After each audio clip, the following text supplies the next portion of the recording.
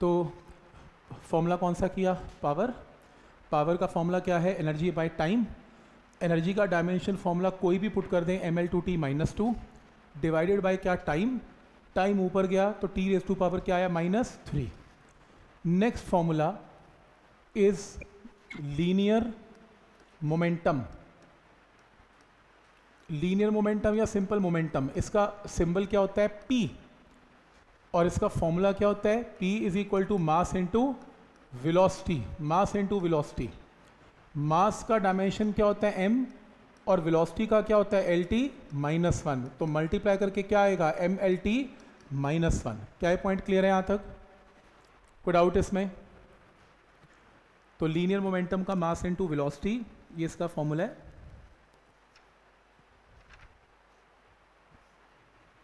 ठीक?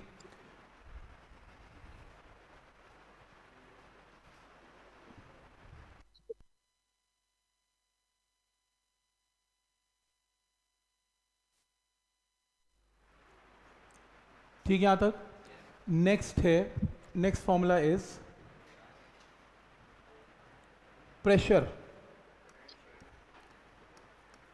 pressure का formula क्या होता है? Force divided by area force by area force का dimension formula is M L T minus two और एरिया का एल का स्क्वायर तो एल से एक एल कैंसल तो answer is M L minus one T minus two तो ये डायमेंशन फॉर्मूला किसका? प्रेशर का।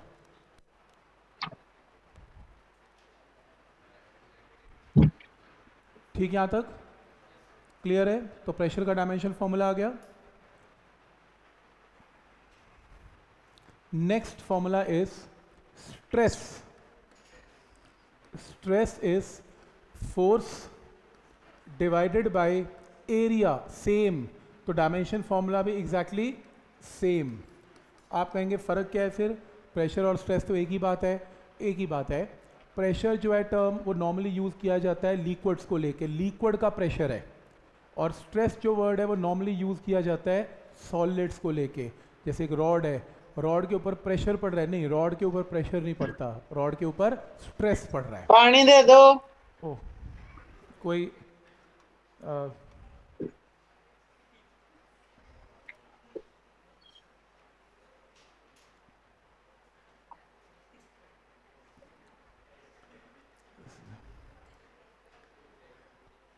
ठीक है?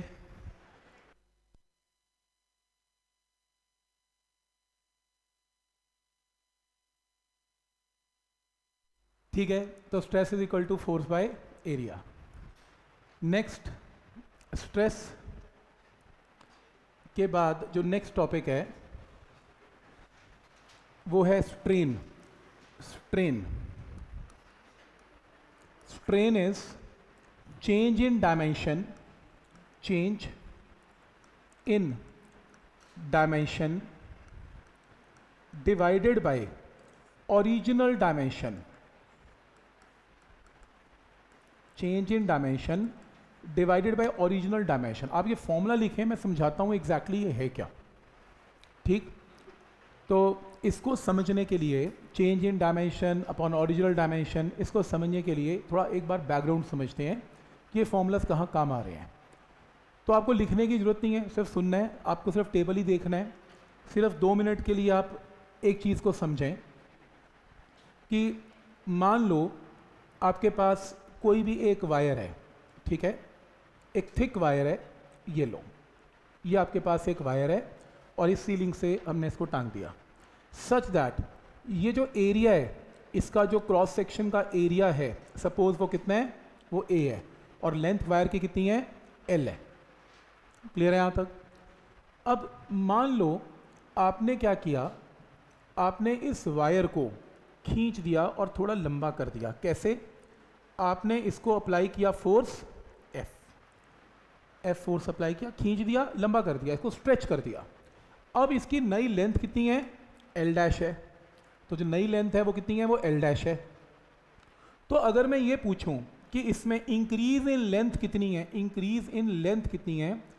आप बोलेंगे एल डैश माइनस एल जो कि कितना? है डेल्टा एल डेल्टा एल का मतलब change in length change in length का मतलब एल डैश माइनस एल क्या पॉइंट क्लियर है यहाँ तक? क्लियर है यहाँ तक? अब अगर मैं ये पूछूँ कि इसका कौन सा डायमेंशन चेंज हो रहा है तो आप बोलेंगे इसमें लेंथ चेंज हो रही है। तो इसमें कौन सा डायमेंशन चेंज हो रहा है? इसमें लेंथ का डायमेंशन चेंज हो रहा है। कितना डायमेंशन चेंज हुआ? डेल्टा एल ओरिजिनल कितना था? एल तो इसके अंदर अगर मैं पूछूँ कि स्ट्रेन क्या है? स्ट्रेन तो आप बोलेंगे चेंज इन डायमेंशन डायमेंशन कितना चेंज हुआ? डेल्टा एल और ओरिजिनल लेंथ कितनी है? एल तो डेल्टा एल बाई एल क्या आ गया इसमें? Strain right right?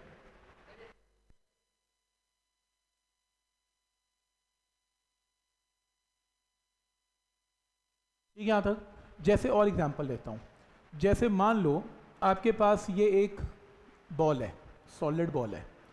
इस सॉलिड बॉल को हर तरफ़ आपने क्या लगाया? फोर्स लगा दी। तो ये सॉलिड बॉल थोड़ी सी क्या हो जाएगी? कंप्रेस हो जाएगी। थोड़ी कंप्रेस हो जाएगी। जैसे मान लो, जैसे आप इसको सी वाटर सी के अंदर ले जाओ 25 किलोमीटर नीचे ले गए। पानी का इतना ज़बरदस्त प्रेशर होता है कि बॉल को छोटा कर देता है। अगर हम भी जाएँगे, हमारा भी सर दर्द होना स्टार्ट हो जाएगा पानी के नीचे, क्योंकि पानी हमारे ऊपर क्या लगाता है? प्रेशर ठीक है, यहाँ तक। तो प्रेशर लगाएगा और इस, ये थोड़ा कंप्रेस हो जाएगा। तो अगर इसका ओरिजिनल वॉल्यूम वी था तो नया वॉल्यूम कितना हो गया वी डैश तो चेंज इन वॉल्यूम कितना है? वी माइनस वी डैश तो इसमें कौन सा डायमेंशन चेंज हुआ? वॉल्यूम चेंज हुआ। तो इसमें स्ट्रेन क्या होगा? इसमें जो स्ट्रेन की वैल्यू होगी, वो होगी delta V by V clear है यहाँ तक? तो वॉल्यूम में कितना चेंज है? डेल्टा वी ओरिजिनल कितना है? वी कोई स्टूडेंट बोलता है क्या मैं इसको ऐसे लिख सकता हूँ। This is fractional change in length या this is fractional change in volume बोल सकते हैं? ये फ्रैक्शनल चेंज इन लेंथ है और वो फ्रैक्शनल चेंज इन वॉल्यूम है। तो क्या ये पॉइंट क्लियर है यहाँ तक? अब बोल सकते हैं ये स्ट्रेन है। अगर मैं इसके यूनिट्स पूछूँ डायमेंशन फॉर्मूला पूछूँ, क्या होगा? तो आप मुझे बताएँ कि स्ट्रेन में लेंथ ये किसमें मेजर करते हैं? मीटर में? डेल्टा एल अगर मीटर में है तो इसका डायमेंशन क्या है एल और डिनोमिनेटर भी मीटर में है तो डायमेंशन क्या है एल तो इसका डायमेंशन फॉर्मूला क्या आएगा? वन कुछ भी नहीं आएगा, ये डायमेंशन लेस है। अगर हम वॉल्यूम से स्टार्ट करें तो वॉल्यूम का डायमेंशन फॉर्मूला क्या है? एल का cube change in volume L का क्यूब ये भी एल का क्यूब तो आंसर क्या आएगा? वन तो क्या है पॉइंट क्लियर है? तो स्ट्रेन किसी भी टाइप का हो, उसका कोई डायमेंशन फॉर्मूला नहीं आएगा।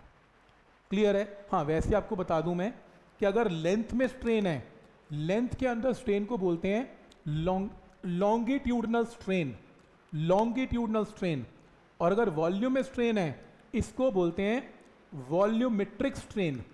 पर मेरे हिसाब से आपको कुछ भी नहीं लिखना, क्योंकि आपको क्वेश्चन में सिर्फ़ स्ट्रेन वर्ड गिवन होगा। स्ट्रेन तो कई तरीके के हो सकते हैं, कोई लेंथ में चेंज है, कोई ब्रेथ में चेंज है, कोई वॉल्यूम में चेंज है, कोई किसमें चेंज है। तो इसका जो फ्रैक्शनल चेंज आएगा, उसका कोई डायमेंशन फॉर्मूला नहीं होगा। क्या ये पॉइंट क्लियर है यहाँ तक? तो स्ट्रेन का कोई डायमेंशन नहीं है, कोई डाउट इसमें। ठीक है, ये लिखने की ज़रूरत नहीं है। आप सिर्फ़ इस बात को समझें कि एक चैप्टर आएगा जिसका नाम है इलास्टिसिटी चैप्टर का नाम है इलास्टिसिटी हम डिस्कस करेंगे, हम स्टडी करेंगे इलास्टिसिटी तो इलास्टिसिटी के अंदर हम क्या स्टडी करते हैं कि कोई भी बॉडी पे अगर आप क्या लगाते हैं? स्ट्रेस तो उसके अंदर क्या प्रोड्यूस हो जाता है? स्ट्रेन देखो, अगर आप फोर्स एरिया पे लगाएँगे तो उसका डायमेंशन चेंज होगा। तो बॉडी में क्या प्रोड्यूस होगा? स्ट्रेन प्रोड्यूस होगा। तो stress is proportional to strain एक हुक्स नाम का साइंटिस्ट था, जिसने रिज़ल्ट हमें बताया था कि स्ट्रेस जो है वो स्ट्रेन के प्रोपोर्शनल है। ठीक है? अब इसमें जो स्ट्रेस है स्ट्रेस है, वो some constant into strain stress जो है वो क्या होगा? सम कांस्टेंट इनटू स्ट्रेन क्योंकि प्रोपोर्शनल का साइन हटेगा इक्वल टू आएगा तो क्या लगेगा? कांस्टेंट तो ये कांस्टेंट की जो वैल्यू आएगी, वो किसके इक्वल होगी? Stress divided by strain stress divided by strain ये भी क्लियर है यहाँ तक? अब ये जो स्ट्रेन है, ये तो कई टाइप के हो सकते हैं। स्ट्रेन लॉन्गिट्यूडनल हो सकता है स्ट्रेन वॉल्यूमेट्रिक हो सकता है स्ट्रेन और किसी टाइप का भी हो सकता है। तो डिनोमिनेटर चेंज होगा तो कांस्टेंट की वैल्यू भी क्या होगी? चेंज हो जाएगी। तो नॉर्मली स्ट्रेस और स्ट्रेन की रेशियो को एक नाम दिया गया, इस कांस्टेंट को नाम दिया गया।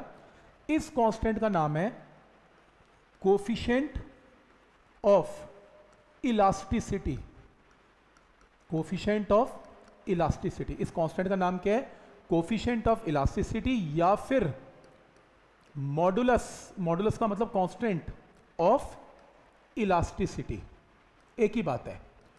तो अगर मैं ये बोलूँ कोफिशियंट ऑफ़ इलास्टिसिटी या मॉडुलस ऑफ़ इलास्टिसिटी या सिंपल इलास्टिसिटी एक ही बात है तो उसका फॉर्मूला क्या लिखा जाएगा? स्ट्रेस अपॉन स्ट्रेन स्ट्रेस का डायमेंशन फॉर्मूला क्या था? अभी हमने किया था कितना? M L minus one T minus two और स्ट्रेन का तो कुछ होता ही नहीं। तो जो स्ट्रेस का डायमेंशन फॉर्मूला है, वही फॉर्मूला इलास्टिसिटी का होगा। वही फॉर्मूला कोफिशेंट ऑफ़ इलास्टिसिटी का होगा। वही मॉडुलस ऑफ़ इलास्टिसिटी का होगा। तो फॉर्मूला विल रिमेन सेम तो क्या ये पॉइंट क्लियर है यहाँ तक? कोई डाउट इसमें? और अभी लिखना नहीं है, मैं लिखाऊँगा अभी। तो ये कहानी क्लियर है? अब क्योंकि स्ट्रेन कई टाइप के हैं, जैसे फॉर एग्जांपल मैंने आपको अभी स्ट्रेन का नाम क्या लिख के दिया? जैसे स्ट्रेस डिवाइडेड बाय एक स्ट्रेन क्या था? लॉन्गिट्यूडनल स्ट्रेन स्ट्रेन की जगह लॉन्गिट्यूडनल स्ट्रेन और एक और स्ट्रेन था, जिसका नाम था वॉल्यूमेट्रिक स्ट्रेन तो अगर मैंने स्ट्रेन चेंज कर दिया तो कांस्टेंट भी क्या हो जाएगा?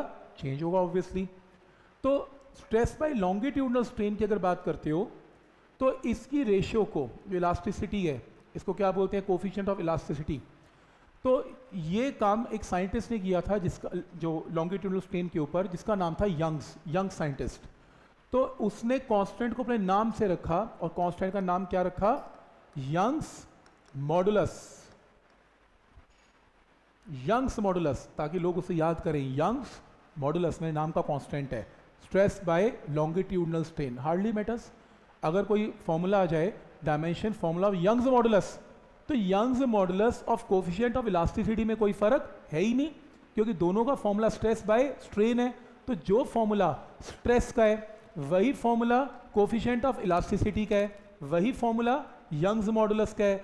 और अगर स्ट्रेन वॉल्यूमेट्रिक हो तो एक और नाम दिया गया इस कांस्टेंट को। इस कांस्टेंट का नाम है बल्क मॉडुलस साइंटिस्ट का नाम नहीं है बल्क ना बल्क का मतलब है मैटर कि वॉल्यूम के ऊपर ये काम हो रहा है तो इसका नाम है बल्क मॉडुलस तो क्या ये पॉइंट क्लियर है यहाँ तक? तो चाहे आ जाए इलास्टिसिटी चाहे कोफिशेंट ऑफ़ इलास्टिसिटी चाहे यंग्स मॉडुलस चाहे बल्क मॉडुलस चाहे कुछ भी आ जाए इलास्टिसिटी के नाम का. Formula will remain same stress by strain ठीक है? अब हम इसके फॉर्मूलाज बना लें। तो आपको ये कहानी मैंने सुनाई जो बैकग्राउंड स्टोरी तो देखो ठीक, देखो। तो इसके अंदर नेक्स्ट फॉर्मूला तो नेक्स्ट फॉर्मूला इज़ आपने स्ट्रेस और स्ट्रेन लिख लिया ना तो नेक्स्ट फॉर्मूला लिखें coefficient of elasticity coefficient of elasticity या फिर modulus of elasticity coefficient of elasticity या मॉडुलस ऑफ़ इलास्टिसिटी जिसका formula is stress stress divided by strain तो स्ट्रेस का फॉर्मूला क्या था? M L minus one T minus two divided by strain का one right clear है यहाँ तक? तो ये फॉर्मूला रहेगा इलास्टिसिटी या कोफिशेंट ऑफ़ इलास्टिसिटी का. क्लियर है?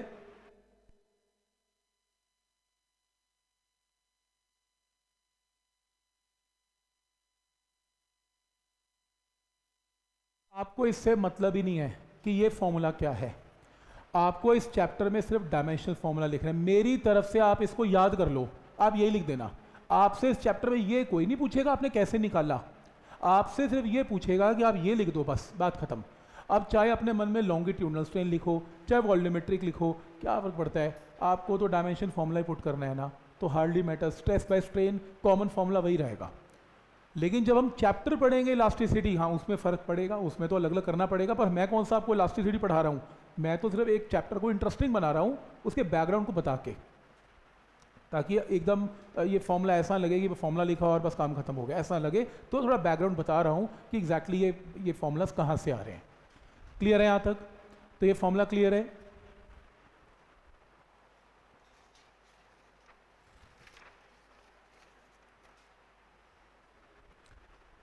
ठीक है? नेक्स्ट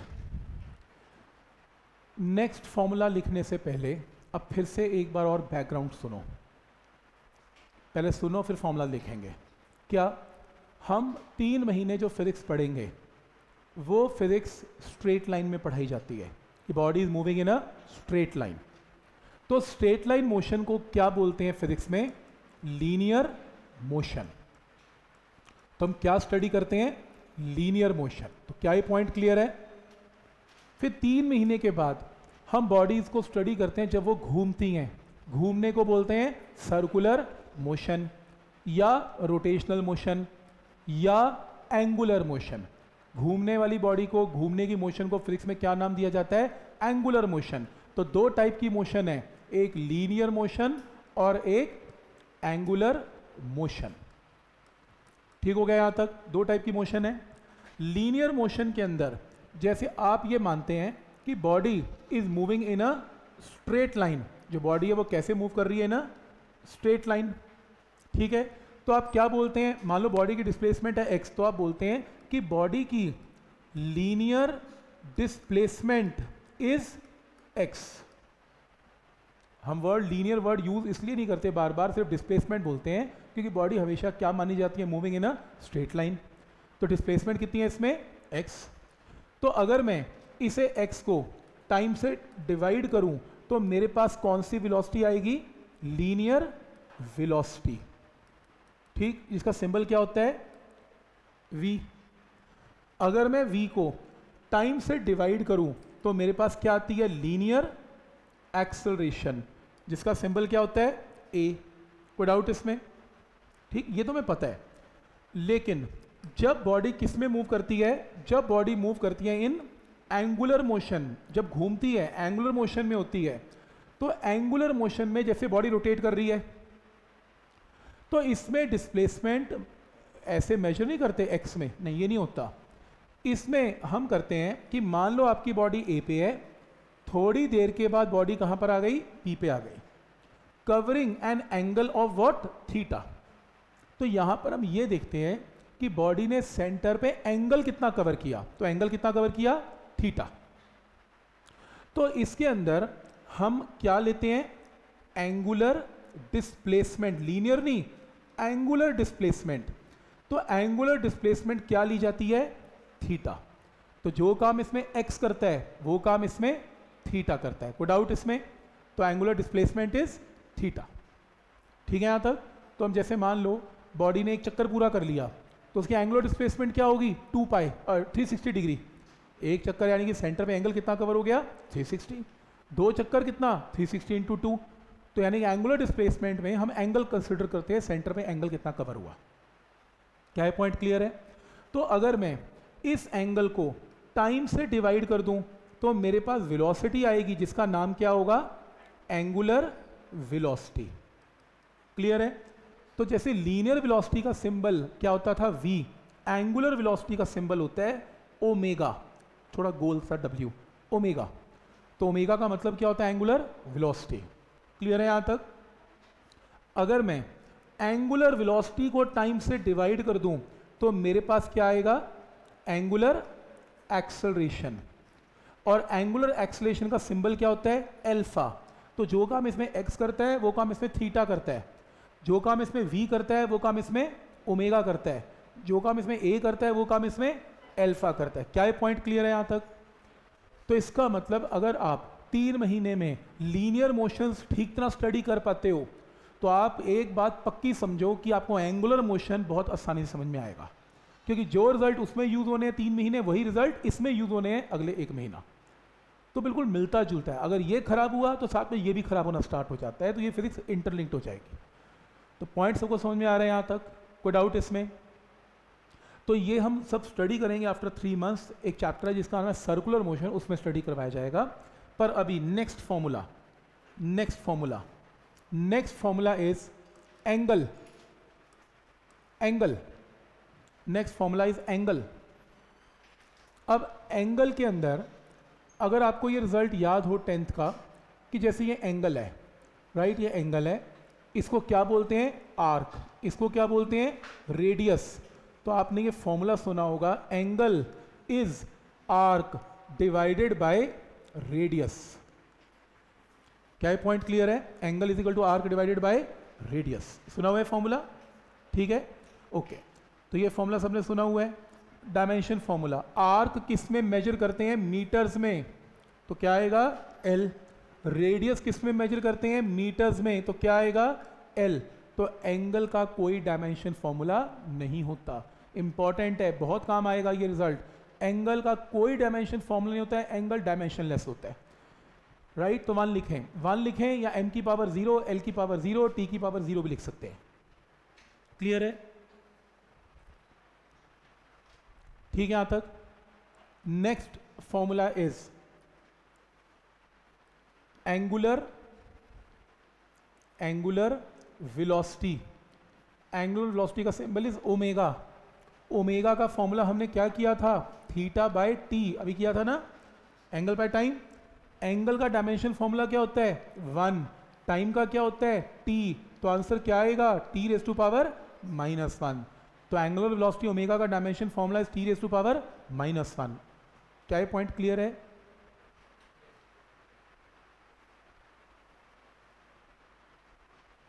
ठीक है यहाँ तक? कोई डाउट इसमें।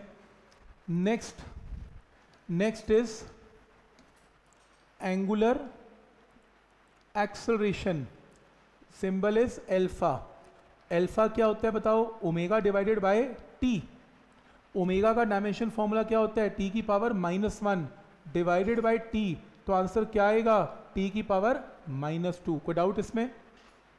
क्या पॉइंट क्लियर है यहाँ तक? तो एंगल भी आ गया एंगुलर वेलोसिटी भी आ गई एंगुलर एक्सलेशन भी आ गई। ठीक है यहाँ तक?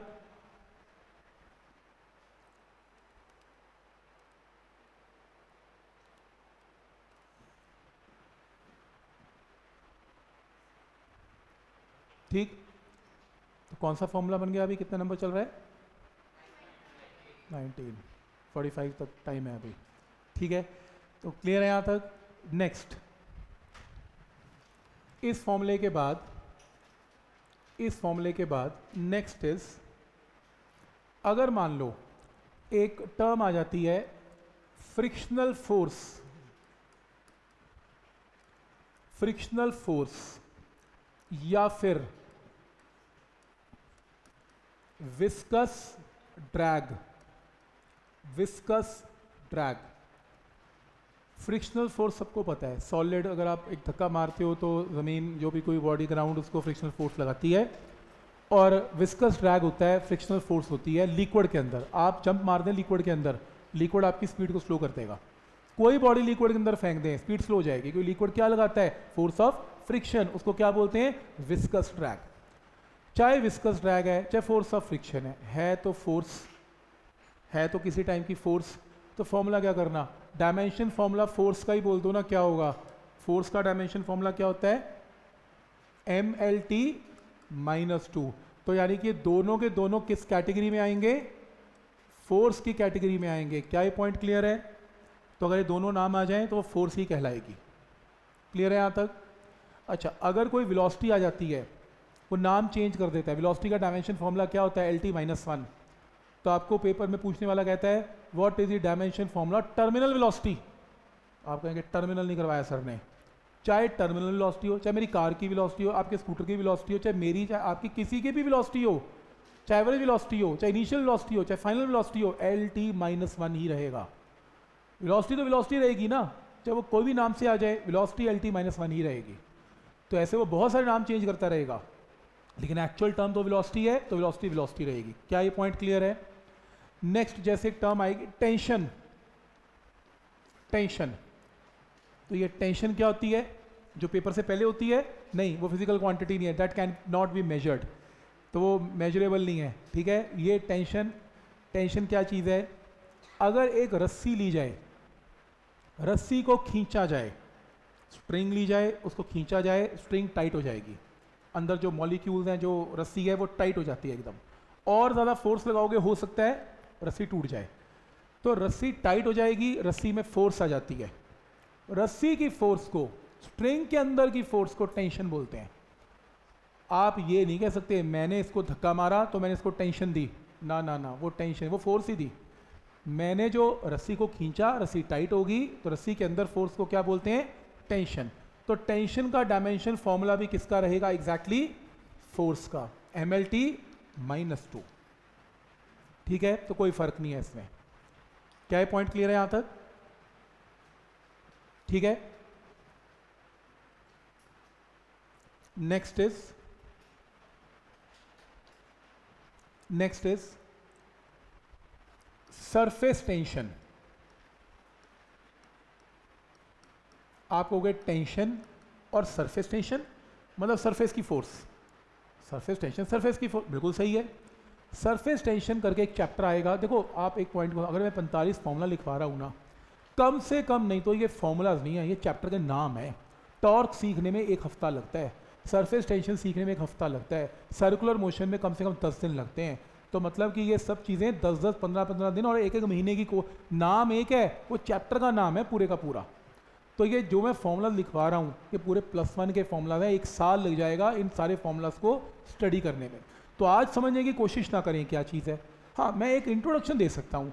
जैसे सरफेस टेंशन है। सरफेस टेंशन लिक्विड्स के अंदर डेवलप होती है। लिक्विड की फोर्सेस को सरफेस टेंशन बोलते हैं। लिक्विड के अंदर क्या होता है? लिक्विड के अंदर जैसे सपोज़ ये लिक्विड की सरफेस है। मान लो ये वाटर है और मान लो ये एयर है। ठीक? आपको लिखना नहीं है, सिर्फ़ सुनना है। लिखना आपको फॉर्मूला ही है सिर्फ़। ये इसलिए ताकि आप फॉर्मूले से जान पहचान कर लें।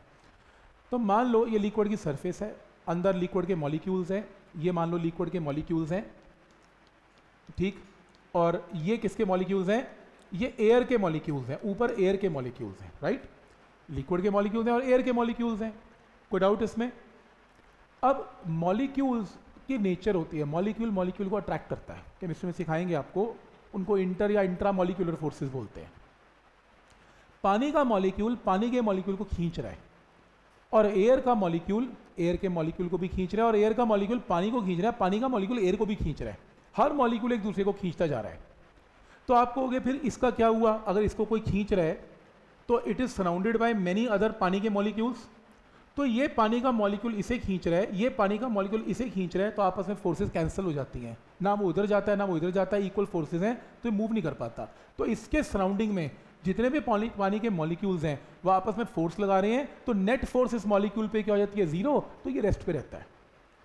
करने को तो फिर पानी का मॉलिक्यूल तो आराम से ऐसे मूव करता हुआ दिखेगा, पानी हिलता दिखेगा, पानी ग्लास में रखा, पानी हिल रहा है। क्यों जी? सर ने कहा था मॉलिक्यूल खींच रहे हैं। पानी नहीं हिलता, जब तक हिलाओ ना। क्यों? क्योंकि नेट फोर्स क्या होती है? ज़ीरो अब प्रॉब्लम कहाँ पर आती है? प्रॉब्लम आती है एयर और पानी के इंटरफेस पे। यहाँ क्या समस्या है? यहाँ पानी के मॉलिक्यूल्स हैं। इस पानी के मॉलिक्यूल को, पानी का मॉलिक्यूल खींच रहा है, बिल्कुल खींच रहा है, लेकिन इस पानी के मॉलिक्यूल को साथ में कौन खींच रहा है? एयर का मॉलिक्यूल भी खींच रहा है। कौन ज़्यादा ज़ोर की खींचेगा? एयर खींचेगी ज़्यादा ज़ोर की फोर्स से या पानी खींचेगा? अगर एयर खींचेगी, फिर तो इसका कुछ ना बचता। उठा के ले जाएगी इस मॉलिक्यूल को। चल हमारे साथ चल। फिर अगले को भी उठा। पूरा पानी साफ़ कर देगी एयर। आप गिलास रखते हो, एयर आती है, एयर पानी पी जाती है, खत्म। तो आपको क्या मिलेगा? कुछ भी नहीं। जबकि ऐसा होता नहीं है, पानी पड़ा रहता है। इसका मतलब कि एयर के मॉलिक्यूल्स जो हैं, पानी के मॉलिक्यूल को खींचते हैं, पर पानी का मॉलिक्यूल पानी के मॉलिक्यूल को ज़्यादा ज़ोर की खींचता है। मानते हो ये बात? कोई डाउट इसमें। तो कौन जीता? पानी पानी जीता। पानी एयर तो जीता नहीं। तो ये मॉलिक्यूल जो टॉप की सरफेस पे होगा, ये कहाँ मूव करेगा? थोड़ा नीचे, क्योंकि ये सारी फोर्सेस बड़ी हो गई और एयर की फोर्स कमज़ोर हो गई तो ये थोड़ा सा नीचे शिफ्ट हो जाएँगे। तो ऊपर के टॉप के जो मॉलिक्यूल्स हैं ना नीचे वाले तो रेस्ट पे ही है। जो टॉप के मॉलिक्यूल्स हैं, वो एयर नहीं खींच पाती तो पानी खींच लेता है। तो टॉप के मॉलिक्यूल नीचे की तरफ़ हो जाते हैं। तो जहाँ और मॉलिक्यूल्स हैं, वहाँ टॉप के मॉलिक्यूल नीचे शिफ्ट हो जाते हैं और मॉलिक्यूल थोड़े टाइट हो जाते हैं सरफेस के ऊपर। टाइटनेस तो होगी होगी, क्योंकि देखो ना, ये मान लो, ये जैसे थोड़ा और क्लियर डायग्राम बनाता हूँ अगर मैं तो इस डायग्राम के अंदर ये मान लो वाटर की सरफेस है। ये बात हो रही है सिर्फ़ उन मॉलिक्यूल की जो पानी के मॉलिक्यूल्स हैं। तो नीचे ऑलरेडी पानी के मॉलिक्यूल्स हैं ये नीचे शिफ्ट हो जाएँगे तो यहाँ पर थोड़ी भीड़ हो जाएगी मॉलिक्यूल्स की, क्योंकि एयर तो खींच नहीं पाई, पानी खींच गया तो पानी पानी के मॉलिक्यूल टाइट हो जाते हैं। अब मॉलिक्यूल जितने टाइट होते हैं तो सर, जो जो मैटर है, उसकी टेंडेंसी सॉलिड की तरफ़ चलनी स्टार्ट हो जाती है। सॉलिड में मैट जो मॉलिक्यूल हैं, वो टाइट होते हैं। लिक्विड में थोड़े खुले होते हैं, ऐसे ही सिखाया जाता है, सिखाया जाता है आपको। तो जो टॉप की सरफेस है, मैं ये तो नहीं कहूँगा पानी सॉलिड हो गया नहीं, ऐसा होता नहीं है, पानी तो पानी रहता है। पानी के टॉप की surface acts like a membrane एक स्किन की तरह पत्ती सी स्किन मेम्ब्रेन की तरह काम करती है। ये चलते पानी की बात नहीं हो रही, ये खड़े पानी की बात हो रही है। चलते पानी में तो कुछ नहीं है, बस पानी रुड़ता जा रहा है। ये तो खड़ा पानी है। खड़े पानी में जो टॉप की सरफेस है, वो टाइट हो जाती है, क्योंकि मॉलिक्यूल्स पास आ जाते हैं टॉप के तो वो स्ट्रेच्ड मेम्ब्रेन की तरह काम करती है और इस प्रॉपर्टी को बोलते हैं सरफेस टेंशन अब सोचने वाली बात यह है, मेरे को आपको तैरना आ सकता है। तैरते कैसे हैं? पानी को धक्का मारते हैं, पीछे एक्शन रिएक्शन हम आगे की तरफ़ जाते हैं। और आर्कोडीज कहता है, जितना पानी आप डिस्प्लेस करोगे, उतना ऊपर की तरफ़ फ्लोट करोगे। ऐसी कुछ कहानी हम सीखेंगे। मच्छर को तो नहीं तैरना आता ना? नहीं, मच्छर को तैरना नहीं आपको? मैंने पानी में बैठा देखा बैठा देखा, उसको माइक्रोस्कोप से देख लेना, वो हमारी तरह हाथ पैर नहीं मारता तैरने के लिए। मच्छर मर भी जाता है पानी में, आपने देखा होगा। लेकिन कभी कभी बच भी जाता है। खड़े पानी में लाखों मच्छर बैठे होंगे। कुछ नहीं होता उन्हें, बैठे रहते हैं। पानी चल पड़ा, मर जाएँगे। हो सकता है मर जाए, उड़ गए तो उड़ गए, नहीं उड़े तो गए। ऐसा क्यों? उसमें कोई आर्कमेडीज नहीं लग रहा।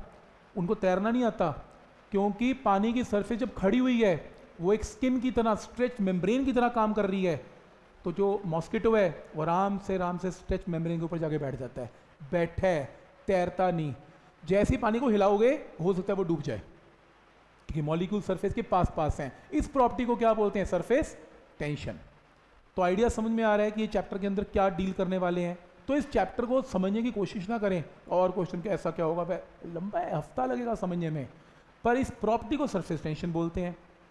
तो सरफेस टेंशन क्या डील करेगा? बस ये बता रहा हूँ कि ये चैप्टर किसमें डील करता है। तो एक्चुअल में ये लिक्विड की फोर्सेस पे डील करता है। और इसमें एक फॉर्मूला हम सीखेंगे आने वाले टाइम में surface tension force divided by length तो सरफेस टेंशन का फॉर्मूला आपको आज की डेट में आना चाहिए फोर्स डिवाइडेड बाय लेंथ ये फोर्स मॉलिक्यूल की फोर्सेस होती है। तो सरफेस टेंशन में जो फोर्स है फोर्स का डायमेंशन फॉर्मूला सबको पता है, और लेंथ का क्या है? एल एल से एल कैंसिल आंसर क्या आ गया? एम टी माइनस टू क्या है पॉइंट क्लियर है यहाँ तक? तो ये सरफेस टेंशन का डायमेंशन फॉर्मूला आ गया। कोई डाउट इसमें? क्लियर है यहाँ तक? ठीक है। अब इसी तरीके से मिलता जुलता इसी चैप्टर का एक और फॉर्मूला है, जिसको बोलते हैं सरफेस एनर्जी सरफेस एनर्जी वैसे तो मैंने आपको बताया था, चाहे पोटेंशियल एनर्जी हो, चाहे कानेटिक एनर्जी हो, चाहे वर्क डन हो, चाहे हीट एनर्जी हो, चाहे कोई एनर्जी हो, सबका डायमेंशन फॉर्मूला सेम रहता है M L two T minus two लेकिन एक चीज़ का डायमेंशन फॉर्मूला सेम नहीं रहता, और वो क्या? Surface energy surface energy potential और कानेटिक की तरह नहीं होती। इसका अलग फॉर्मूला है। इसका फॉर्मूला है energy divided by area energy divided by area हम चैप्टर में पढ़ेंगे इसे। तो एनर्जी का डायमेंशन फॉर्मूला क्या है? M L two T minus two और एरिया का क्या है? एल का square L square L square cancel answer क्या आ गया? एम टी माइनस टू मज़े की बात है। सरफेस टेंशन और सरफेस एनर्जी का डायमेंशन फॉर्मूला एग्जैक्टली सेम है। कोई फ़र्क नहीं है। तो क्या ये पॉइंट क्लियर है यहाँ तक? तो सरफेस एनर्जी और सरफेस टेंशन सेम है। आपको एक एग्जांपल देता हूँ। सरफेस एनर्जी का टॉपिक कहाँ काम आता है? मैंने आपको कहा कि एक एक मान लो, एक ब्लॉक है। एक ब्लॉक को धक्का मारा मैंने फोर्स लगाई टेन न्यूटन और वो डिस्प्लेस हुई बाय फाइव मीटर तो मैंने पूछा वर्क डन कितना है? आपने बोला ten into five fifty joule done अच्छा मैंने कहा वर्क डन कैलकुलेट करने आते हैं? आपने कहा हाँ मुझे वर्क डन कैलकुलेट करने आते हैं। मैंने कहा, ठीक है, एक और एक्सरसाइज करते हैं, मेरा वर्क डन कैलकुलेट करो। क्या वर्क डन करना है? मैं एक सोप साबुन का एक सोल्यूशन लूँगा। बच्चों की तरह पाइप लूँगा और एयर को ब्लो करूँगा। बबल फूलेगा। सोप का एक गुब्बारा फूलेगा। बच्चे फुलाते हैं ना बबल्स हवा में उड़ाते हैं। भाई, मैंने कहा मेरे मुँह से वर्क डन किया, हवा हवा फेंकने में वर्क डन किया। बोलो वर्क डन कितना है? आप कहोगे, यार, ये क्या बात बनी? फोर्स इनटू डिस्प्लेसमेंट थोड़ा लगेगा इसमें। तो क्या लगेगा? सरफेस एनर्जी का कॉन्सेप्ट लगता है। तो जब ऐसे वर्क डन कैलकुलेट करने होते हैं तो उसमें नॉर्मल फॉर्मूला लगते नहीं है, उसमें सरफेस एनर्जी लगती है। वहाँ ये काम आएगा, ये टॉपिक सरफेस एनर्जी आपको अभी नहीं सीखना जब साथ साथ बैकग्राउंड बता रहा हूँ कि कहाँ कहाँ ये चैप्टर्स में हम क्या क्या करने वाले तो पॉइंट क्लियर है यहाँ तक, कोई डाउट इसमें? तो दो फॉर्मूलाज क्लियर है। वैसे तो इसका फॉर्मूला नहीं भी याद करोगे, और सरफेस टेंशन का याद कर लोगे तो बात तो एक ही है तो ज़रूरी याद करना है। एक ही, कह एक ही बात है। तो क्लियर है यहाँ तक। ठीक नेक्स्ट फॉर्मूला ऑनलाइन वालों को क्लियर है? यस ठीक. Next formula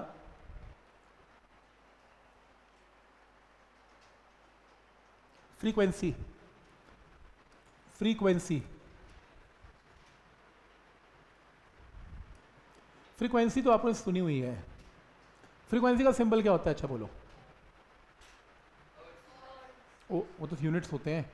symbol symbol F F से लिखते हैं।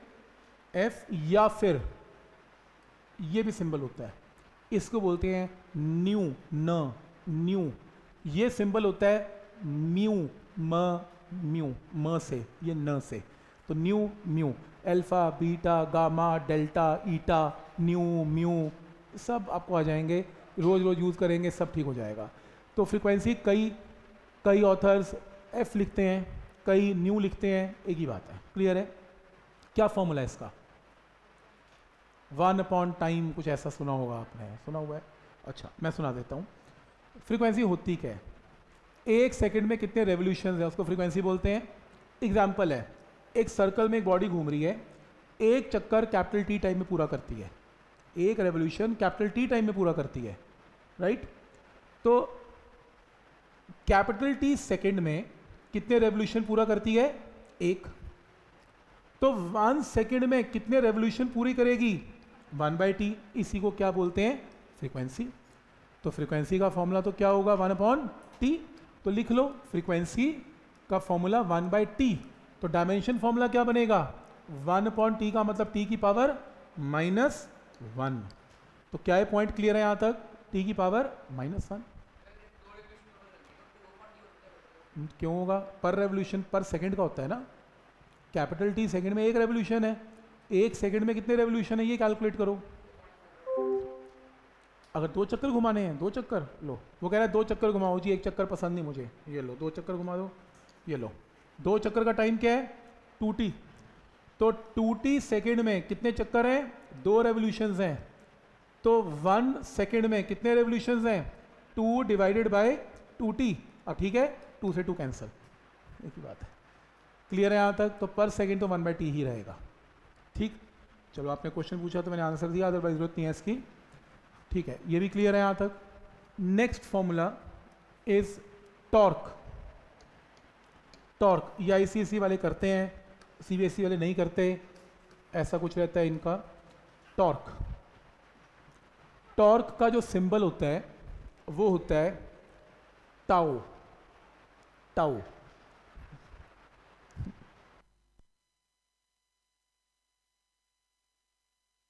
टाउ तो ये सिंबल है इसका alpha beta gamma eta nu mu tau एक और ये सब जब चैप्टर पढ़ेंगे सब आदत पड़ जाएगी आपको तो टाउ तो इसका ये होता क्या है जब आप एक बॉडी पे फोर्स लगाते हैं तो वो कैसे मूव करती है जैसे एग्जांपल है ये मान लो आपके पास एक बॉडी है आपने इसके ऊपर फोर्स लगाई। मूव ही नहीं कर रही। आपने इधर फोर्स लगाई, ये मूव कर रही है। कर रही है। आपने ऐसे फोर्स लगाई, देखो ये मूव भी कर रही है और घूम भी रही है। घूम, यानी कि फोर्स कैसे लगाई, इसकी मोशन डिसाइड कर देगी। चाहे ये पड़ी रहे फोर्स खराब भी जा रही है फोर्स मूव भी करवा रही है फोर्स घुमा भी सकती है। तो जब फोर्स घुमाती है घुमाती है बॉडी को रोटेट करवाती है तो हम बोलते हैं कि इसका टर्न जो फोर्स है, उसका टर्निंग इफ़ेक्ट को हम टॉर्क बोलते हैं। तो ये टर्न होती है। तो फोर्स लगाने से कितना टर्न हो रही है, उस अफेक्ट को हम क्या बोलते हैं? टॉर्क जनरेट हो रहा है। गाड़ियों के अंदर भी आपने देखा होगा टॉर्क का मीटर लगा होता है, कितना टॉर्क है। अब रेस दबाते हैं, फटाफट टॉर्क की सुई घूमती है।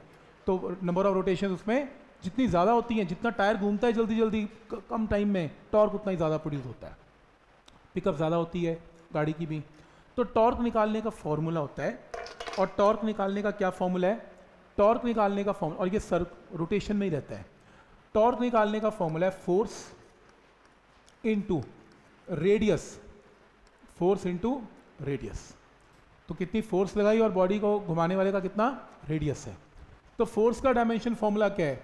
M L T minus two. और रेडियस का क्या है? एल। मल्टीप्लाई करो, क्या आएगा? एम एल टू एक बात बताओ, ये करने की ज़रूरत ही नहीं है। क्यों? फोर्स इंटू रेडियस या फोर्स इंटू डिस्टेंस बात तो एक ही है। फोर्स इंटू डिस्टेंस तो वर्क डन भी होता है। तो चेक करो वर्क डन का पोटेंशियल एनर्जी का काइनेटिक एनर्जी का टॉर्क का, सबका डायमेंशन फॉर्मूला सेम ही तो है। तो आप वर्क का ही याद कर लो तो टॉर्क का फॉर्मूला याद करने की आपको ज़रूरत है ही नहीं। तो पॉइंट समझ में आ रहे हैं यहाँ तक?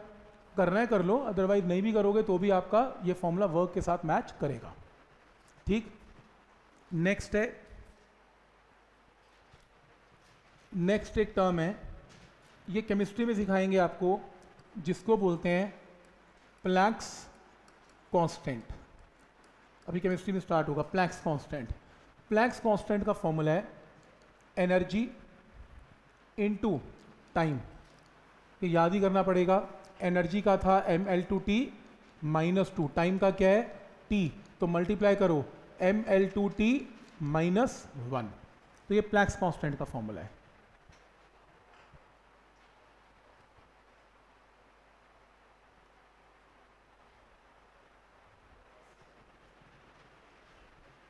ठीक है यहाँ तक?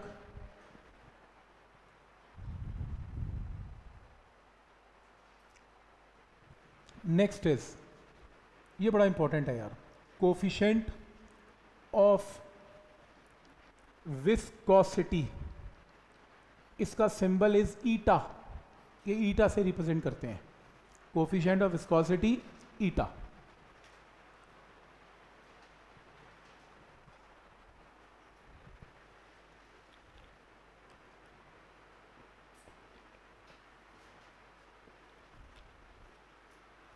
ठीक?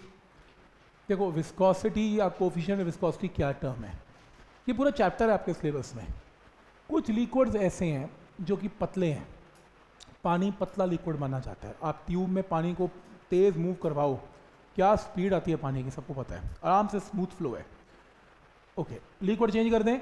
शहद हनी डालो पाइप में हनी डालो मूव कर जाए, मेरे को बोल देना। धक्का मारोगे तब भी मूव नहीं करेगा, इतना स्लो है। गाढ़ा लिक्विड है तो इसको विस्कस लिक्विड बोलते हैं। गाढ़ा लिक्विड नहीं थिक लिक्विड नहीं विस्कस लिक्विड है। पानी पतला लिक्विड है, पतला नहीं नॉन विस्कस लिक्विड है। तो कुछ लिक्विड्स थिक हैं विस्कस हैं, कुछ नॉन विस्कस हैं। तो ये एक ऐसी वैल्यू है ईटा जितनी ज़्यादा कोफिशेंट ऑफ़ विस्कोसिटी की वैल्यू होती है किसी भी लिक्विड की, वो उतना ही थिक होता है विस्कस होता है, शहद की तरह। और अगर ईटा कम रहेगा तो उतना ही पतला होता जाएगा पानी की तरह। तो ऐसा कुछ हम स्टडी करेंगे। पर अभी फ़िलहाल तो मुझे इसका डायमेंशन फॉर्मूला बताना है। तो इसको डायमेंशन फॉर्मूला सीखने के लिए एक फॉर्मूला नोट करें six pi eta R into V एक ना एक्सपेरिमेंट किया गया। एक स्फेयर लिया गया। स्फेयर का रेडियस है आर और वेलोसिटी है वी स्फेयर को पानी में गिरा गया। जब पानी में गिरा ना तो पानी ने उसको अपोज किया। है ना? स्फेयर की वेलोसिटी को स्लो किया। तो ये जो एक्सपेरिमेंट में ये जो फोर्स है, ये उसकी अपोजिंग फोर्स है। ये जो फोर्स है, इसकी अपोजिंग फोर्स है, ये रेडियस है स्फेयर का, ये वेलोसिटी है स्फेयर की, और ईटा कोफिशेंट ऑफ़ विस्कोसिटी है। तो ये फॉर्मूला कहाँ से आया तो चैप्टर में डिस्कस करेंगे जब आएगा। पर हाँ ये फॉर्मूला एक ऐसा फॉर्मूला जिसमें ईटा यूज़ हो रहा है। तो ईटा का फॉर्मूला क्या बना? F divided by six pi into R into V six pi तो कांस्टेंट है। फोर्स का डायमेंशन फॉर्मूला क्या है? M L T minus two, radius का क्या है? एल वेलोसिटी का क्या है? L T minus one. तो यहाँ से एल से एल कैंसिल, आंसर आ गया M L minus one T minus one. बहुत बार यूज़ होता है। ये कम से कम दस बार यूज़ होगा अगले चैप्टर में मतलब अगले लेक्चर में। इतनी बार यूज़ होगा, बिलीव मी, आप ये फॉर्मूला भूल जाओगे। आपको सीधा ये याद हो जाएगा कुछ दिनों में M L minus one T minus one. इतनी बार यूज़ होगा। जैसे वेलोसिटी का क्या होता है? एल टी वेलोसिटी का एल टी माइनस वन अच्छा ये भी याद नहीं हुआ अभी। ओके तो एल टी माइनस वन तो कोफिशेंट ऑफ़ विस्कोसिटी का M L minus one T minus one आपको याद हो जाएगा। और इसको एक और चीज़ बता दूँ मैं, इस चैप्टर को स्टार्ट जब करते हैं ना तो इसके दो टेस्ट होते हैं। दो टेस्ट स्टार्ट करने से पहले होते हैं फॉर्मूलाज फॉर्मूलाज के। दो क्यों? क्योंकि एक में ठीक परफॉर्मेंस कभी आज तक आई नहीं स्टूडेंट की, पक्का रिकॉर्ड है, बने ही दो हुए हैं। वो एक एक में दस फॉर्मूले दूँगा चार याद ही नहीं होंगे। छः लिख दोगे, चार नंबर कटा लोगे फिर मैं कहूँगा, नहीं टेस्ट में मज़ा नहीं आया। फिर कहूँगा, एक और टेस्ट होगा। फिर एक और टेस्ट दूँगा दस फॉर्मूलाज का। फिर मज़ा आएगा, फिर आएँगे नंबर राइट तो ये दो स्टैंडर्ड प्रोसीजर है ये, जिसको एसओपी बोलते हैं। इस चैप्टर का दो बार करने के बाद ही फॉर्मूला याद होगा। सही बोल रहा हूँ ना? ऐसे कैसे होगा? ठीक है? तो मैं टेस्ट का आपको पूरा प्लान बता दूँगा व्हाट्सएप पे डाल दूँगा, अगली बार तो आना नहीं है। कब, किस दिन क्या टेस्ट होगा छोटे छोटे टेस्ट होंगे तो मैं बता दूँगा। पहला टेस्ट आपका डिफ्रेंसिएशन है, दूसरा इंटीग्रेशन है, तीसरा एरर्स है, चौथा ये फॉर्मूलाज के दो टेस्ट हैं, पाँचवा फिर एरर्स का ऑब्जेक्टिव है, और फिर उतनी देर में यूनिट एंड डायमेंशन भी तैयार हो जाएगा। तो मतलब अभी पाँच छः तो लाइन में लगे पड़े हैं, अगले पंद्रह दिन में पाँच छः तो निकल ही जाएँगे। तैयारी भी तभी होगी। ठीक है यहाँ तक? तो क्लियर है ये फॉर्मूला क्लियर है? याद हो गया? M L minus one T minus मैं आप नोट करो, मैं आपको ये याद करने को कभी नहीं कहता। पर एक ये फॉर्मूला ज़रूर है जिसको मैं चाहता हूँ कि आप याद ही कर लो M L minus one T minus one ठीक है? क्योंकि ये कम से कम दस, पंद्रह, हर तीसरा क्वेश्चन इससे बना हुआ है यार। तो इंपॉर्टेंट है। ठीक है? नेक्स्ट है कोफिशेंट ऑफ़ विस्कोसिटी के बाद, velocity gradient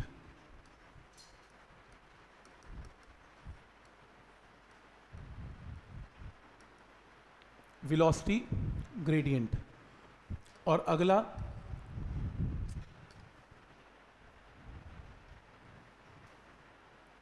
नेक्स्ट इज़ साथ ही लिख लो pressure gradient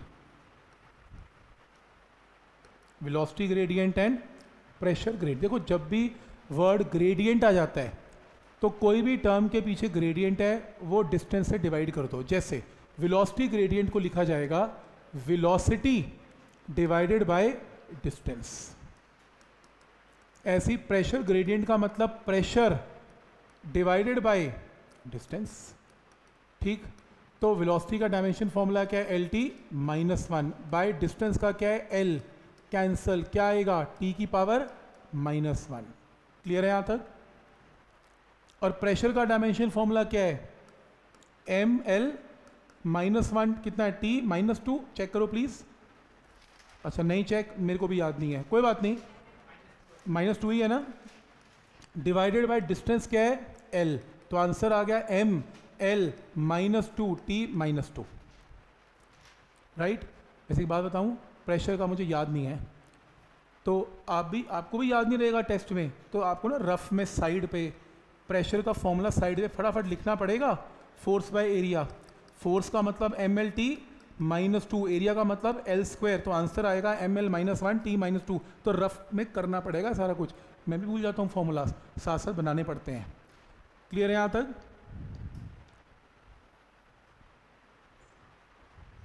ठीक। तो दो फॉर्मूलाज क्या नंबर आ गया लिस्ट का? ठीक है। क्लियर है? Next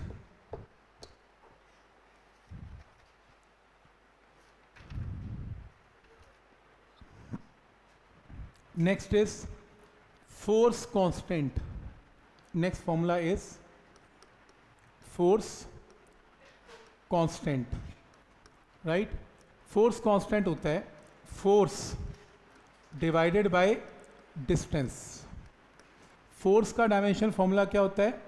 M L T minus two distance का एल एल से L cancel M T minus two M T minus two formula surface tension का भी सेम था।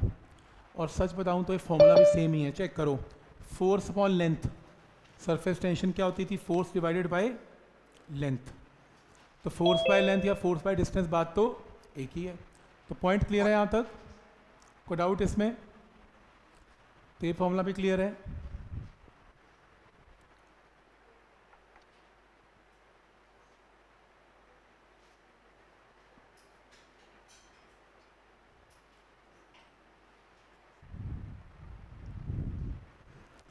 okay next formula is next formula is ये भी बहुत important बहुत use होता है ये। ग्रेविटेशनल कांस्टेंट ग्रेविटेशन कांस्टेंट जिसका सिंबल पता है क्या होता है? कैपिटल जी कैपिटल न्यूटन ने जो निकाला था हाँ नाइन्थ में किया होगा। जिसकी value 6.67 point six seven into ten की पावर माइनस इलेवन रहती है। तो इसकी हिस्ट्री क्या है? न्यूटन ने कहा था कि अगर दो मासेज हैं m1 and m2 separated by a distance of r. तो न्यूटन ने कहा था कि कोई भी दो मासेस एक दूसरे को क्या करते हैं? अट्रैक्ट तो जो फोर्स ऑफ़ अट्रैक्शन है, वो किसके प्रपोर्शनल है? M one into M two Newton ने कहा था कि जो फोर्स है, वो इन्वर्सली प्रपोर्शनल टू क्या होता है? आर का स्क्वायर तो इन्हें अगर कंबाइन करें तो force proportional to M one into M two divided by R square और प्रपोर्शनल की जगह कांस्टेंट लगता है और उस कांस्टेंट की वैल्यू क्या रखी जाती है? जी। तो क्या ये पॉइंट क्लियर है यहाँ तक? तो आपको एक ऐसा फॉर्मूला मैंने बता दिया फोर्स का, जिसमें कैपिटल जी यूज़ हो रहा है। G M one M two divided by R square ये फॉर्मूला लिखें प्लीज़ ये फॉर्मूला लिखें।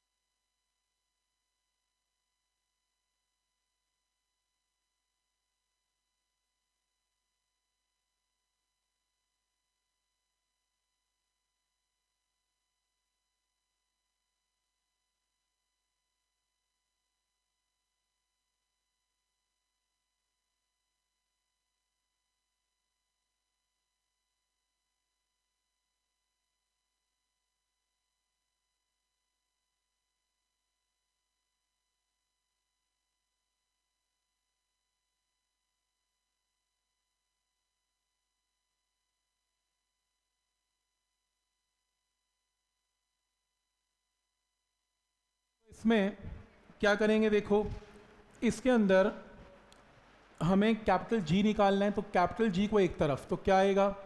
F R square divided by M one into M two तो कैपिटल जी का फॉर्मूला आ गया।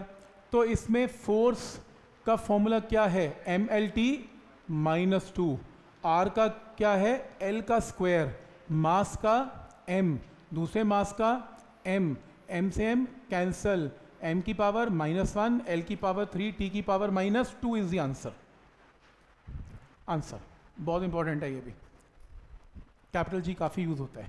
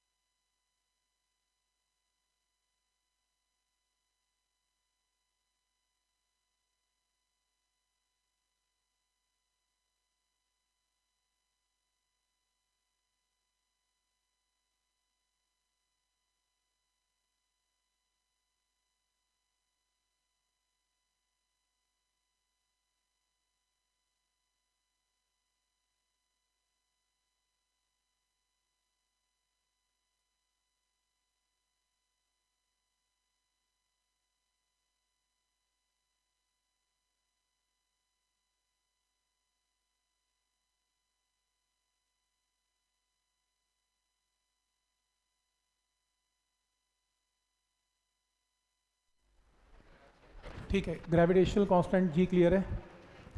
जब ये जी का फॉर्मूला आता है ना, सच बताऊँ, मेरे को ये याद नहीं होता कभी भी। मैं इसे याद ही नहीं कर पाता। तो फिर मैं क्या करता हूँ? बनाता हूँ बैठ के, जैसे ये बनाया और क्या करूँगा?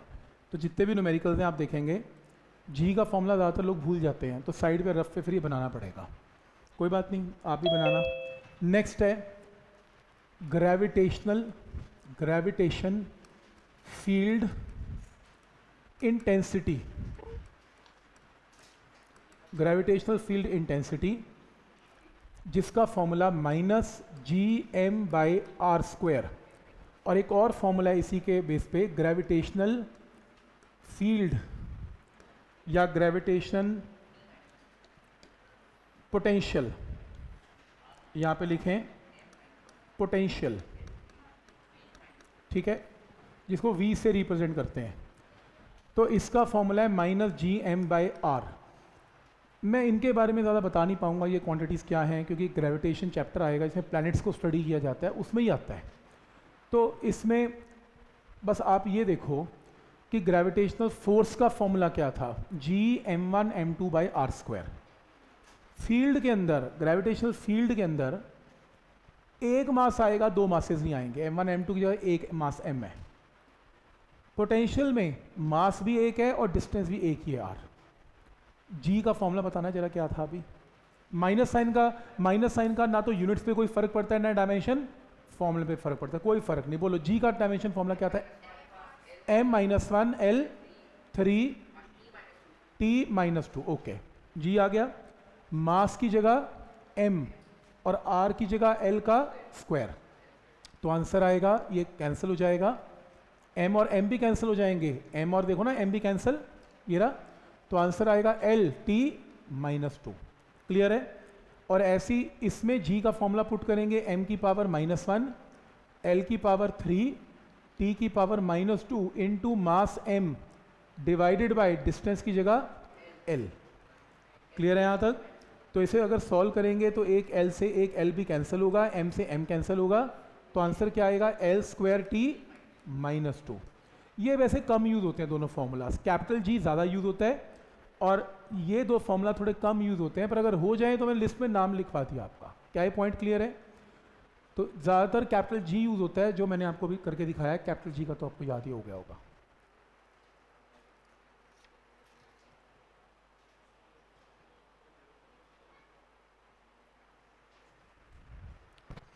ठीक है, यहाँ तक क्लियर है?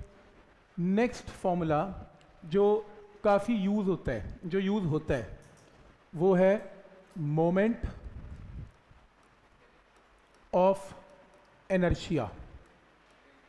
Moment of inertia symbol is I moment of inertia का formula is I is mass into radius का स्क्वायर। मोमेंट ऑफ़ एनर्शिया पूरा चैप्टर एट सेल्फ जो कि कम से कम तो तीन लेक्चर में ख़त्म होगा। और मोमेंट ऑफ़ एनर्शिया कहाँ यूज़ होता है? जब कोई बॉडी घूमती है रोटेट करती है तो जो उसकी रोटेशन है, वो उसके मास पे और शेप पे डिपेंड करती है। जैसे मान लो एक इंक्लाइन प्लेन है। इंक्लाइन प्लेन से आपने एक स्फेयर को छोड़ दिया, आपने एक रिंग को ले लिया, आपने एक डिस्क को छोड़ दिया तो तीनों इकट्ठी नहीं, इकट्ठी को छोड़ा, लेकिन कोई स्फेयर पहले आ रहा है रिंग बाद में आ रही है डिस्क बाद में आ रहा है तो शेप रोटेशन में अपना जो है रोल प्ले करता है। तो वो शेप को कौन डिसाइड करता है? मोमेंट ऑफ़ एनर्शिया ये मैं चैप्टर में पढ़ाऊँगा, पर फ़िलहाल के लिए फॉर्मूला क्या याद करेंगे? मास इनटू रेडियस स्क्वायर तो मास का फॉर्मूला बोलो क्या है? एम और रेडियस का क्या है? एल का स्क्वायर तो क्या आंसर आएगा? एम इंटू एल का स्क्वायर क्लियर है यहाँ तक? ये काफ़ी यूज़ होता है मास इंटू डिस्टेंस स्क्वायर एक, इसी चैप्टर का एक और फॉर्मूला है angular momentum angular momentum linear momentum का मतलब बॉडी जब स्ट्रेट लाइन में मोमेंटम इज़ लीनियर मोमेंटम जब बॉडी रोटेट कर रही है तो momentum is known as angular momentum इसका सिंबल है एल इसका सिंबल ही एल है, और लेंथ नहीं है एल सिंबल ही एल है। तो एल इज़ इक्वल टू क्या? इसका फॉर्मूला है I into omega where L is known as what angular momentum angular momentum I is known as moment of inertia and omega क्या था? एंगुलर वेलोसिटी एंगुलर वेलोसिटी याद है? तो बोलो फिर इस केस में। आई का फॉर्मूला क्या है? एम एल स्क्वेयर और ओमेगा क्या क्या था? टी की पावर माइनस वन तो answer is M L two T minus one answer ठीक है यहाँ तक? ठीक। कोई डाउट इसमें? तो ये फॉर्मूला आ गया एंगुलर मोमेंटम का।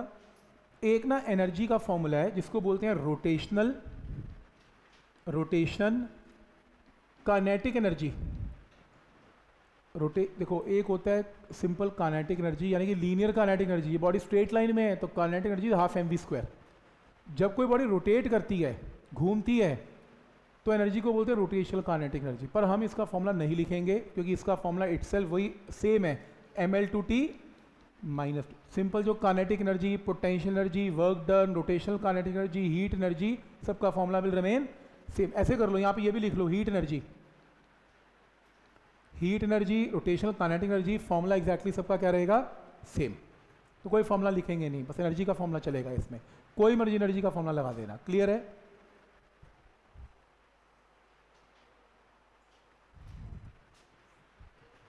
ठीक है? कितने फॉर्मूले हो गए?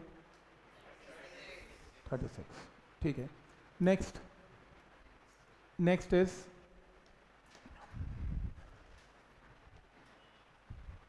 charge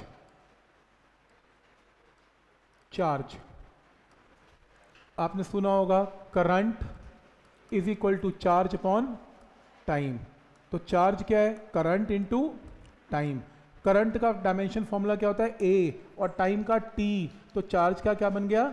A T ampere into time, AT.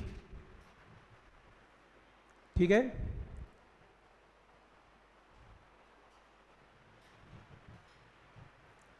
ठीक? Next is electric potential electric potential याद है? वी आप करते थे टेंथ में वी तो इसका फॉर्मूला क्या होता था? Work done divided by charge electric potential या फिर या फिर एक और टर्म है इसकी जगह। पोटेंशियल डिफरेंस पोटेंशियल डिफरेंस एक ही बात है। पोटेंशियल डिफरेंस या इलेक्ट्रिक पोटेंशियल तो formula is work done by charge ठीक है यहाँ तक? वर्क डन का डायमेंशन फॉर्मूला क्या है? M L two T minus two और चार्ज क्या क्या है? ए टी तो सॉल्व करेंगे तो आएगा M into L two into T minus three A minus one ये लो। फॉर्मूला आ गया।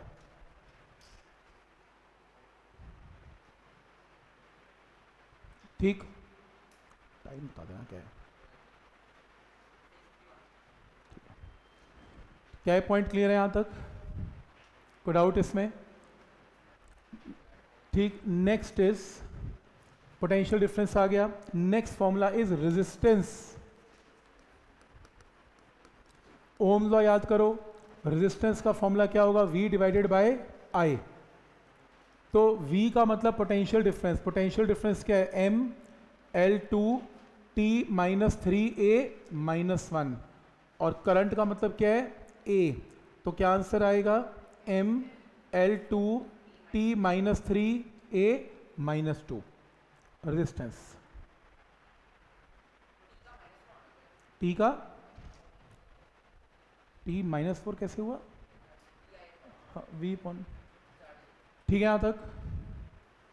क्लियर है?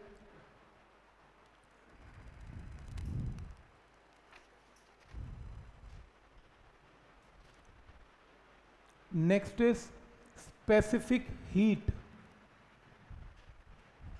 next is specific heat C या एस से रिप्रेजेंट करते हैं। तो formula is Q is M C delta T delta T का मतलब चेंज इन टेम्परेचर तो एम सी डेल्टा टी तो इसके अंदर ये टर्म क्या बताती है? जैसे आप कोई भी आपके पास एक मैटर है, कोई भी सब्सटेंस है जिसका मास क्या है? एम मास है। तो आपने उसका टेम्परेचर इंक्रीज करना है बाय डेल्टा टी जैसे मान लो इनिशियल टेम्परेचर 20 डिग्री सेल्सियस और थोड़ी देर के बाद टेम्परेचर 120 तो डेल्टा टी कितना होगा? 120 ट्वेंटी माइनस ट्वेंटी, कितना? 100 तो आपने इंक्रीज किया टेम्परेचर तो किसी भी बॉडी का टेम्परेचर अगर आपको इंक्रीज करना है तो आपको क्या देनी पड़ेगी? हीट तो आपने हीट दी ताकि टेम्परेचर इंक्रीज हो। अब हीट कितनी देनी पड़ेगी? वो डिपेंड करेगा उसका मास कितने ज़्यादा मास है, ज़्यादा हीट है। कम मास है, कम हीट है। इतना सा मास का टेम्परेचर 120 इंक्रीज करवाना है तो हीट कम देनी पड़ेगी। मास बढ़े तो हीट ज़्यादा देनी पड़ेगी। तो मास पे डिपेंडेंट है डेल्टा टी पे डिपेंडेंट है हीट, जितना बड़ा डेल्टा टी होगा, हीट ज़्यादा देनी पड़ेगी, मास ज़्यादा होगा, हीट ज़्यादा देनी पड़ेगी, और जिसकी स्पेसिफिक हीट वो जो मैटर है, जो जिसको गर्म करना है, वो किस मटीरियल का बना हुआ है, उस पर भी तो डिपेंड करेगा सब कुछ। वो मटीरियल कैसा है? कोई मटीरियल ऐसे हैं जिनकी स्पेसिफिक हीट ज़्यादा है, जिनकी स्पेसिफिक हीट ज़्यादा है, उसको हीट ज़्यादा देनी पड़ेगी। जिसकी स्पेसिफिक हीट कम है, उसको हीट कम देनी पड़ेगी। तो यानी कि मटीरियल टू मटीरियल भी वेरी करता है, और वो जो मटीरियल है उसको कौन, हम किससे डिनोट करते हैं? स्पेसिफिक हीट तो स्पेसिफिक हीट का फॉर्मूला क्या बन गया? Q divided by m delta T heat is a form of energy energy का डायमेंशन फॉर्मूला क्या है? M L two T minus two mass का m. टेम्परेचर का kelvin mass mass cancel L two T minus two K minus one is answer ठीक है यहाँ तक? Clear है?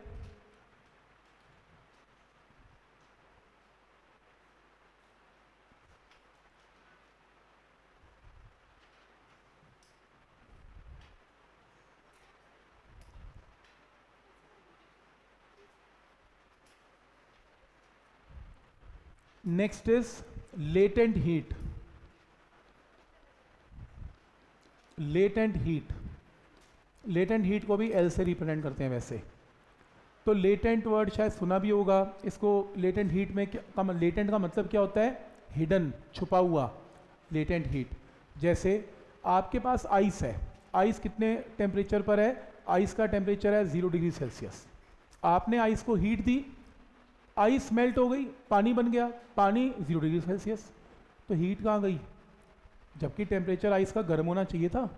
अगर आप टेम्परेचर इंक्रीज कर लेकिन ऐसा नहीं हुआ। स्टेट ऑफ़ मैटर क्या हुआ? चेंज हो गया। तो स्टेट ऑफ़ मैटर चेंज करने की हीट को क्या बोलते हैं? लेटेंट हीट हम पढ़ेंगे इसे तो इसका फॉर्मूला होता है Q is equal to M into L ये फॉर्मूला है। तो L for latent heat Q divided by M. तो हीट का फॉर्मूला क्या है?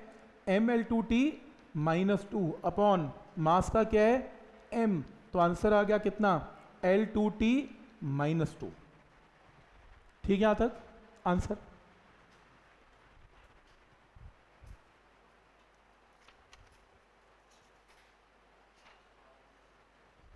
और आखिर कितने हो गए? चार, दो ही रह गए वैसे तो ठीक है? तो next formula is universal gas constant gas constant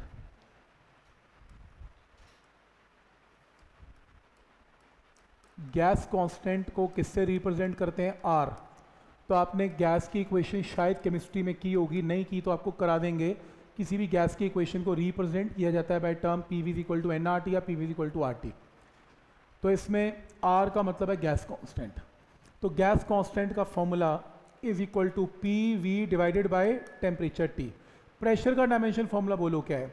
M L minus one T minus two volume का एल क्यूब टेम्परेचर का केल्विन तो आंसर आ गया M L two T minus two K minus one gas constant कभी कभी use हो जाता है। तो गैस कांस्टेंट नोट करें।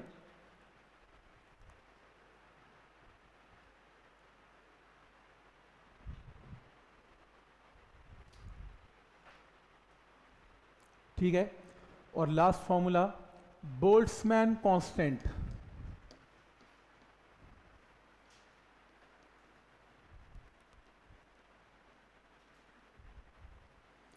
Boltzmann constant जो होता है that is gas constant divided by Avogadro's number ये केमिस्ट्री की टर्म है एवोगेड्रोस नंबर शायद आपने स्टार्ट कर ली हो, ठीक है? कुछ भी हो नंबर है ना नंबर का कोई डायमेंशन फॉर्मूला होता ही नहीं। हमें क्या लेना नंबर नंबर तो नंबर है। तो जो डायमेंशन फॉर्मूला आर का है न्यूमिनेटर में तो मैंने क्या पुट कर दिया? आर पुट कर दिया। डिनोमिनेटर में क्या आएगा? वन तो जो गैस कांस्टेंट का है, वही बोल्ट्समैन कांस्टेंट का भी है। तो क्लियर है यहाँ तक? बस। एनआरटी है पर नंबर ऑफ़ मोल्स में नंबर हम लेते नहीं हैं। ठीक? वन तो क्या ये पॉइंट क्लियर है यहाँ तक? फॉर्मूलाज की लिस्ट बुक्स में इससे भी बड़ी है। 80, 100, 120 प्लस टू के भी बीच में इंक्लूडेड हैं। मेरे हिसाब से इतने फॉर्मूला सफिशेंट हैं कि आप at least plus one plus one के क्वेश्चन तो कर ही लोगे। क्योंकि लिमिट तो है ही नहीं, फिजिक्स खत्म नहीं होएगी, ये ना फॉर्मूलाज खत्म होने वाले हैं तो कहीं तो रुकना पड़ेगा। तो हम यहाँ पर रुकते हैं। प्लस टू के कुछ फॉर्मूलाज हैं, वो नहीं हम कर रहे इसमें, सिर्फ़ प्लस वन के कर रहे हैं, आपका काम इसमें चल जाएगा। इन केस अगर कोई फॉर्मूला और ज़रूरत पड़ी, उसी टाइम बना दूँगा, बता दूँगा कि ये फॉर्मूला चाहिए होंगे। अदरवाइज़ आज तक पड़ी नहीं है वैसे। आज तक यहीं तक काम चला हुआ है हमारा। ठीक है? तो यहाँ तक सबको क्लियर है? तो अब सबसे बड़ा क्वेश्चन हमने ये क्यों किए? 40 फॉर्मूले लिख दिए 45 लिख दिए। एप्लीकेशन क्या है? करूँ क्या इस फॉर्मूले का आप करके? तो अब हम क्या करेंगे इसकी? एप्लीकेशन तो मैं आपको आज एक एप्लीकेशन इसकी बताता हूँ। आज हम इसको कंटिन्यू एप्लीकेशन में का एक आइडिया दे सकता हूँ ऐसा क्यों किया। लेकिन जो प्रैक्टिस है, वो हम नेक्स्ट टाइम करेंगे। तो आज बस दो मिनट का काम। तो लिखो applications application of dimensional analysis ठीक? और इसकी फ़र्स्ट एप्लीकेशन है फ़र्स्ट एप्लीकेशन है to find relation among various physical quantities ठीक? इसकी पहली एप्लीकेशन है। क्या एप्लीकेशन है? अभी समझाता हूँ। आप लिख लो ये।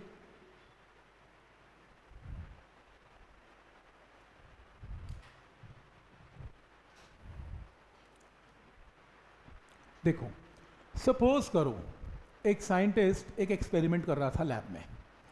क्या एक्सपेरिमेंट कर रहा था? वो साइंटिस्ट एक स्ट्रिंग लेके, एक धागा लेके पत्थर को बाँध के गोल गोल घुमा रहा था। उसने ये एक्सपीरियंस किया कि जो वो फोर्स लगा रहा है घुमाने के लिए, वो फोर्स पत्थर के मास पे डिपेंडेंट है। मतलब कहीं ना कहीं मास चेंज करते हैं तो उसकी फोर्स चेंज हो रही है। उसको पता लग गया। उसको ये भी पता लग गया कि जो फोर्स है, वो रेडियस पे डिपेंडेंट है। स्ट्रिंग लंबा स्ट्रिंग छोटा तो फोर्स कम ज़्यादा लगानी पड़ती है। उसको ये भी पता लग गया कि ये फोर्स इस पत्थर की विलोसिटी पे डिपेंडेंट है। तेज़ घुमाता है स्लो घुमाता है तो फोर्स की वैल्यू क्या होती है? चेंज होती है। तीन फैक्टर्स पे पता लग गया कि फोर्स इन तीन चीज़ों पे डिपेंड करती है। वो बनाना चाहता है फोर्स का फॉर्मूला रिलेशन का मतलब क्या बनाना है? फॉर्मूला जैसे न्यूटन ने फॉर्मूला बनाया था F is equal to G M one M two by R square अब न्यूटन को कैसे पता? आर डिनोमिनेटर में आएगा, उसका स्क्वायर ही होगा क्यूब क्यों नहीं होगा? रेस टू पावर फोर क्यों नहीं होगी?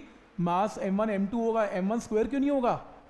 कोई लॉजिक तो होता होगा फॉर्मूला बनाने के लिए। वो लॉजिक कौन बताएगा? डायमेंशनल एनालिसिस तो इसमें क्या किया उसने? रिलेशन पता कर लिया। उस साइंटिस्ट को ये नहीं पता था कि मास पे डिपेंडेंट तो है। रेस टू पावर कितना है? रेस टू पावर टू है थ्री है वन है, पता नहीं। तो उसने क्या लिख लिया? Raise to power A A पता नहीं पावर क्या है। उसको ये नहीं पता था कि आर की पावर क्या है, उसको ये नहीं पता था कि वी की पावर क्या है। तो उसने क्या किया?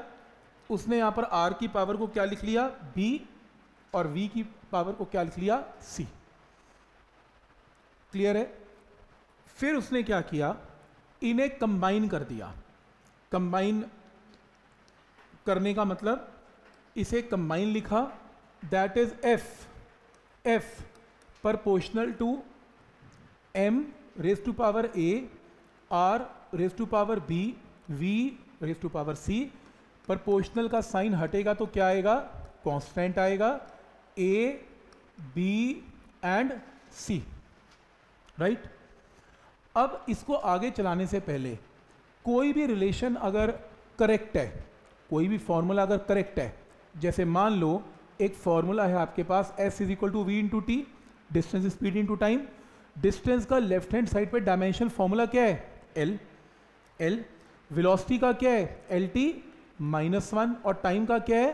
टी तो यहाँ पर मल्टीप्लाई करके क्या आएगा? एल तो आप चेक करें लेफ़्ट का और राइट right का डायमेंशन फॉर्मूला एग्जैक्टली सेम है। तो याद रखना, अगर कोई भी रिलेशन करेक्ट है तो उसका लेफ़्ट का और राइट right का। डायमेंशन फॉर्मूला एग्जैक्टली क्या आएगा? सेम तो आप एक चीज़ देखें।